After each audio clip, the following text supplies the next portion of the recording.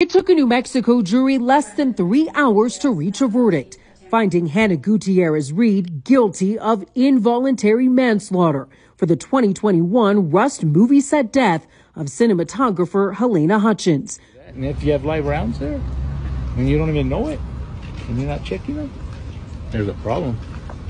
Gutierrez Reed was hired as the armorer for the film Rust. She was responsible for handling the guns on set.